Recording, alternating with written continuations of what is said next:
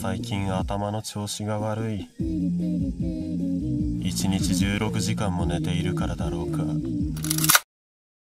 Tatsuhiro Sato is a college dropout with no social skills, anxiety, and depression. He's a NEET, so this isn't surprising, but he spends most of his time surrounded by the same four walls of that apartment, drowning in his damaging, intrusive thoughts, keeping him from facing the outside world. If this description feels like an attack or something that you can relate to, then this might be an anime worth checking out for you. Because hidden within Welcome to the NHK lies a message that can save a generation of broken young people with loneliness on the rise. Generation Z.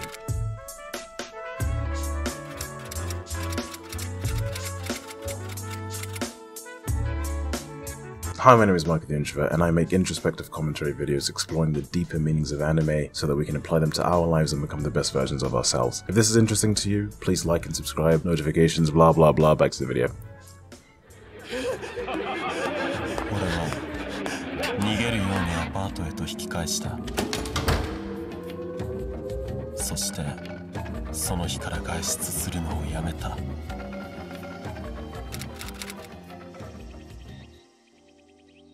Anxiety is a feeling all too familiar to this generation. We see it cripple our protagonists throughout the series, making the most basic of tasks seem like an impossible feat.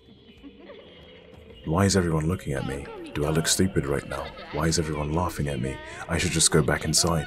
Whether it's having panic attacks in public, avoiding social interactions altogether, or coping with dangerous addictions like video games, anime, or porn, Sato can never seem to claw himself away from his self-destructive behaviors, until one day,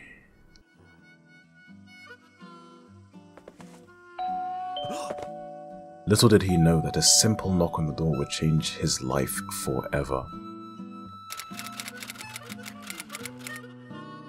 For an anime released in 2006, it does very well at warning the generations to come, who will be prone to losing themselves in social media, streaming services, and other forms of digital entertainment, substituting real life meaningful interactions with parasocial online relationships. Feeling lonely? Well, what's my favorite streamer doing? I'll just tune into her for 8 hours and give her all of my money. Feeling extra lonely?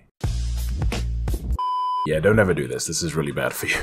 With intense feelings of perpetual loneliness, we sink deeper and deeper into our parasocial, self loathing universes. But just as he reaches his breaking point,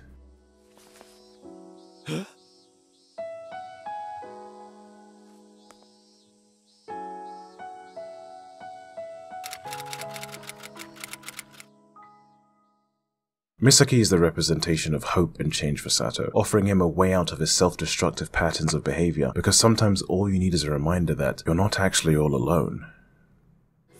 きっといい方向に転がると思うよ二人一緒ならきっと大丈夫大丈夫 Her words remind us that we're not alone in our struggles, but it's important to take action to getting out of our own individual ruts. We all need human connection, we all need support, and we should never be afraid to ask. Why not reach out to that friend and start a conversation? Why not ask that girl out across the hall? Who cares if it doesn't work out? A definite no is better than a lifelong list of what ifs, because life is meant to be lived outside, and not in a bedroom behind a screen.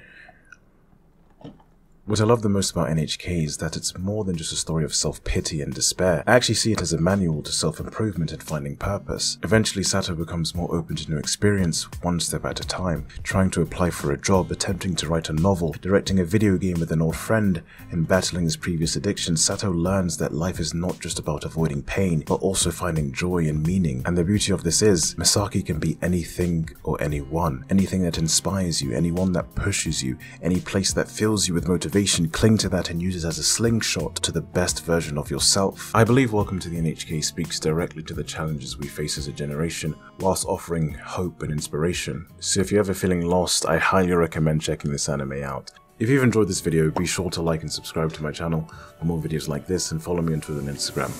Bye.